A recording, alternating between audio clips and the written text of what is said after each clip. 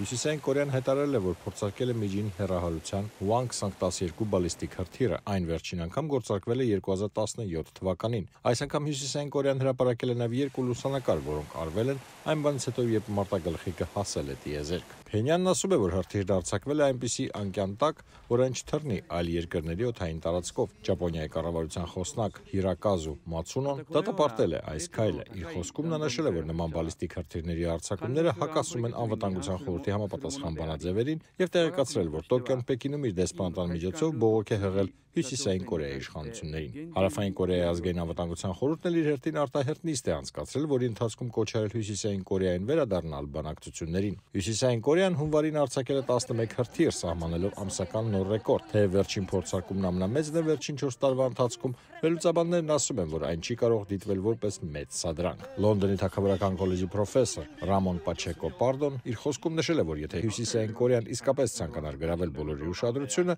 ապա նրանք կիրականացնեին միջուկային զենքի փորձարկումներ։ Այս պահին ըստ նրա վերջին փորձարկումներին հետևում են միայն նրանք, ովքեր հետաքրքրված են կորեական թերակղզու զարգացումներով։ Ի պատասխան վերջին արձակման ամերիկացի բարձրաստիճան մի պաշտոնյա ասել է լրագրողներին, որ չի բացառում, որ Հյուսիսային Կորեան շուտով ավելի մեծ փորձարկումներ անցկացնի ԱՄՆ-ից զիջումներ կորզելու համար։ Նա նշում է, որ ԱՄՆ բաց է բանակցությունների համար, բայց այս պայն նախագահական գագաթնաժողով չի նախատեսվում։ Բիլ Գալո, Արամ Ավետիսյան, Ամերիկայի ձայն Վաշինգտոն։